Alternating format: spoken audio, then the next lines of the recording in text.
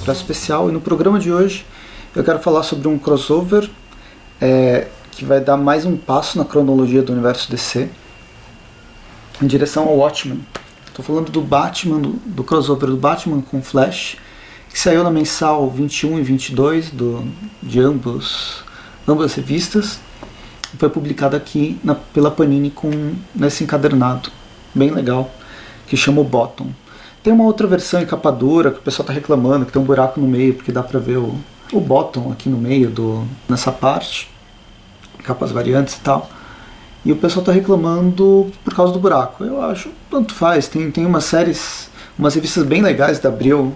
Uma das que mais chamou atenção na Abril foi a do Wolverine com a, as garras rasgando a revista, ou então do Superman, da morte do Superman, que o símbolo ele era cortado. Então o meu problema não é com o buraco, é com o preço. Que enquanto esse aqui custou 17, mas dá para comprar pela é, Amazon ou acho que na Saraiva tem também. Esse encontra por mais barato. O meu acabei pagando 14. Aquele encadernado em capa dura com o mesmo número de páginas, simplesmente com a capa dura e esse bottom vai custar mais de 40 reais. O meu problema é esse. Mas não é necessário. Comprem a versão é, de capa cartonada que encontra em qualquer banca, que é, vale bastante a pena. Os roteiros são do Tom King e do Josh, Joshua Williamson, a arte do Jason Fabok, Howard Porter e as cores do Brand Anderson e Hi-Fi. São é a equipe criativa tanto do Batman, da, da quinzenal do Batman, quanto da quinzenal do Flash, se juntando para essa história. Bem, desde o Renascimento, uh, a gente está esperando um reencontro desses dois personagens. Cronologicamente, a gente tem o teve o Flashpoint em 2011. No final dele, o Flash e o Batman eles têm uma última primeira conversa onde toda a memória do universo anterior ia ser esquecida, eliminada. E aí, com o Renascimento, essa memória foi retomada. O Wally West retorna. No retorno do Wally West, um bottom, que é o, aquele bottom com smile uh, aqui uh, do, do comediante do Watchman, ele aparece na Batcaverna. O Bruce e o Barry resolvem investigar isso, mas fica só no desejo e cada um toma seu rumo de forma independente. Né? As revistas mensais vão seguindo com histórias, uh, as suas próprias histórias.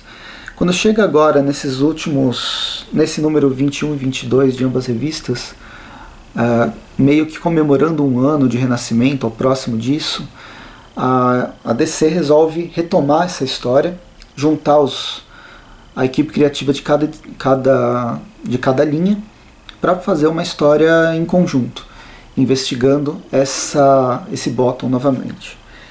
Uh, mas a investigação do Bottom, na verdade, que seria um motivo inicial, ou pelo menos o motivo principal, ele vai ser incentivado pela, pelo aparecimento do Elbar Tom, que é o Flash Reverso. Aqui a gente tem o Batman vendo o Bottom, ele acaba tendo visualizando o pai dele como Thomas Wayne, como Batman do pré-Flashpoint, depois que o Bottom entra em contato com a máscara do Pirata Psíquico, que ele recuperou recentemente na mensal. Chama o Flash, mas quem aparece é o Flash Reverso. Essa primeira, primeiro um quarto, primeira edição, basicamente se perde apenas no, no Elbart espancando o Bruce Wayne.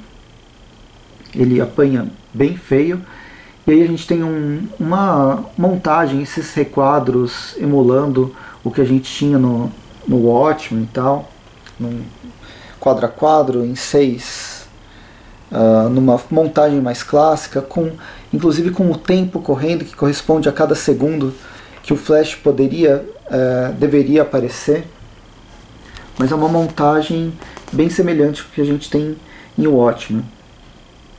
E aí ele consegue pegar uh, o Bottom, segue o fluxo de energia do Bottom, de repente ele retorna e é completamente obliterado, falando de algum deus desconhecido. E é a morte do Flash Reverso e o início da investigação para onde esse Flash, para onde o Eberton foi. A história vai se desenvolver justamente nesse nessa investigação e aí a gente tem vários encontros. O Bruce e o Wally e o Barry eles vão pegar a esteira cósmica que o Flash usa para ir entre as realidades paralelas no momento pré crise nas infinitas terras são vários elementos sendo retomados e isso dá início dá vazão a uma nova a novos conceitos de espaço-tempo de múltiplas realidades de temporalidades paralelas que os dois personagens vão começar a, a entrar em contato. Uma delas eles voltam inclusive para o momento do Flashpoint, para que não é nenhuma realidade paralela, é, é, um, é, esse, é um tempo paralelo ao tempo real onde eles estão vivendo. O Flashpoint deveria ter sido destruído, mas ele não, não foi é, no final do, daquela, daquela saga. Né? E aqui a gente tem um encontro emocionante até do Thomas Wayne, completamente sofrido pela perda do filho, e o Bruce Wayne que sempre sofreu pela morte do, dos pais. Só faltava ele encontrar com a mãe, mas a mãe já tinha sido morta. E não sei se ia ser tão, uh, tão proveitoso, já que ela tinha enlouquecido e se transformado no Coringa. Não sei o quanto de sanidade tinha sobrado para ela. Mas, bem, a história continua nesse fluxo espaço-temporal, eles encontram novamente com o flash reverso antes de morrer no fluxo do tempo. E aí acabam sendo salvos por um outro personagem, um flash mais clássico ainda, que é o Jay Garrick, surgindo da mesma forma que o Wally West. E é o Jay Garrick não dos 952, da Terra 2, mas do pré-Flashpoint que ele volta numa ele volta e ele tenta se manter no nosso universo, no universo do, da DC, de uma forma semelhante que o Wally West. E assim, esse aqui é um interlúdio, digamos que o prelúdio ao Renascimento, esta, o Bottom é um interlúdio para uma saga que vai se desenvolver mesmo, uh, vai começar a se desenvolver só no final do, do ano passado nos Estados Unidos e aqui no Brasil deve chegar no fim desse ano ou talvez só no ano que vem. É, uma, é um desenvolvimento lento, mas são elementos muito importantes para a história de fundo do universo DC, que estão sendo lançados, mesclando realidades, mesclando franquias de sucesso como é, o Watchmen. Eu acho que vale algumas menções honrosas que, de personagens que aparecem aqui que são na verdade anomalias do pré-Flashpoint, como essa personagem que de vez em quando aparece, que ela tá num sanatório completamente louca, que é Saturnia dos Legionários. Mais pra frente, outra pessoa que também tá meio num, num asilo, completamente louco envelhecido. Talvez não louco, mas as pessoas é, que cuidam dele acham que sim, que é o Johnny Trovoada, da Sociedade da Justiça. Enquanto os dois heróis estão no fluxo do tempo, eles veem algumas cenas da, de origens da Liga da Justiça que se passaram em diversos tempos, diversas épocas. E, bem, são apenas é, sugestões de coisas que nessa nova cronologia nunca aconteceram, embora elas possam ser de certa forma consideradas. Enfim, é uma história que vai mexer com viagem no tempo, realidades paralelas e tempos paralelos. Que, como eu disse, é só um interlúdio para o que vai vir no próximo, no próximo, na próxima saga, onde o Superman tem mais importante ainda, que é o relógio do juízo final, com uma participação mais é, presente dos personagens de Watchmen.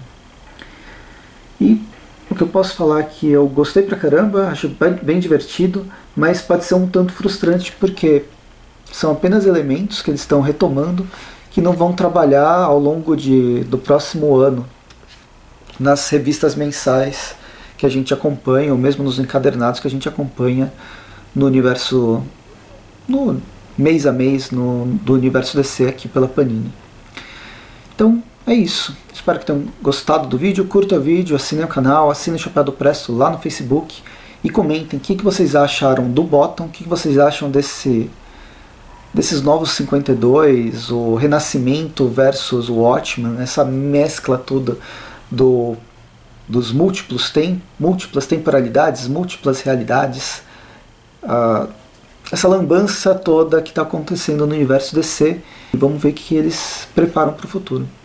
E é isso. Comentem, a gente conversa nos comentários e a gente se vê no próximo vídeo. Bons quadrinhos.